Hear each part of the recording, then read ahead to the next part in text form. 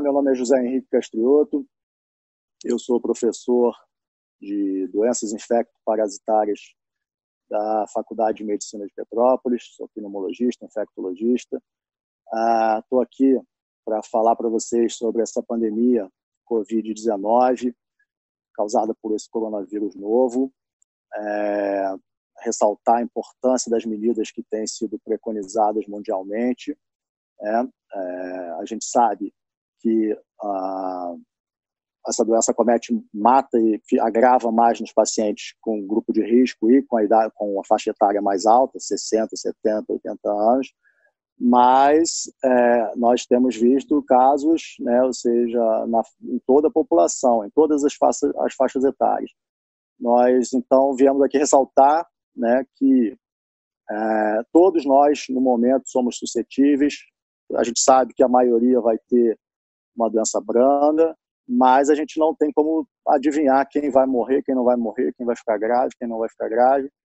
E, ah, enfim, então é, é, fundamental que nessa semana, principalmente, nós reforcemos a barreira sanitária, reforcemos o, isolamento social, reforcemos a lavagem da mão frequente, reforcemos o, o, o uso da máscara, se se, se for possível, da máscara para aquela pessoa que tosse. Se não for possível, bote um pano na frente é, é, ou um, um, paninho qualquer, mas que bote para lavar depois, enfim.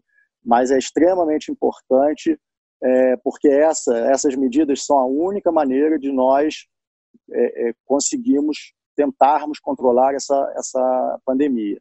É, todos nós temos que fazer a nossa parte. Se cada um fizer a sua parte, quem vai ganhar no final é a sociedade, com menor custo econômico e com menor contagem de vidas no final dessa história. Então, mais uma vez, a gente apela às pessoas para que fiquem em casa, só saiam quando for extremamente necessário, né, para que lavem suas mãos frequentemente, evitem o contato próximo com as pessoas na rua quando sair, mantenham a distância de pelo menos um metro, usem né, uma máscara ou um pano na frente, pode ser uma camiseta ou um lenço, né, mas para quem tiver sintoma respiratório.